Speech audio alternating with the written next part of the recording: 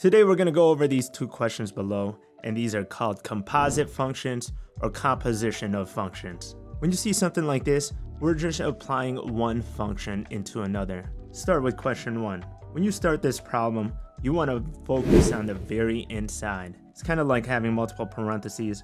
You want to look at the very inside first, block everything else out. So let's focus on f of negative 3 and find what that equals. This number right here is defined by this variable, so that really means that that's my x. That is my input that I'm going to plug in for this expression right here. We're going to replace that x with my input, which is negative 3. And then go ahead and compute that. 4 times negative 3 is negative 12 plus 3, which then simplifies to negative 9. So f of negative 3 equals negative 9. Now I know what this function is going to equal, which is negative 9.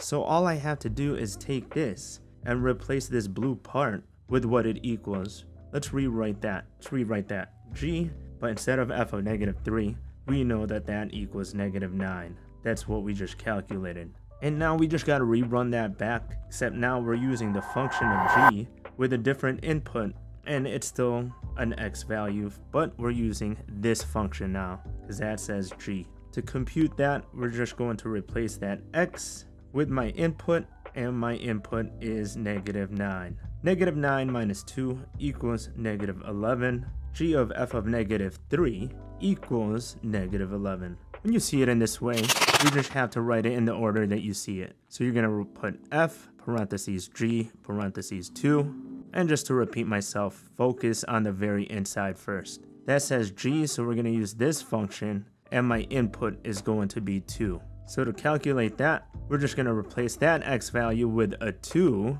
because that's my input. And don't freak out, sometimes you get 0 as an answer, doesn't mean it's wrong.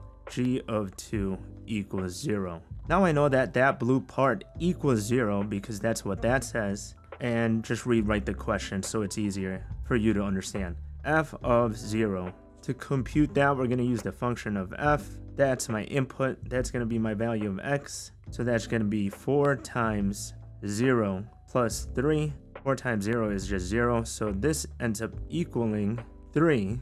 So f of g of 2 equals 3. Hope that helped. We'll try to do ones with expressions next. Like and subscribe, and I'll see you on the next episode. Peace.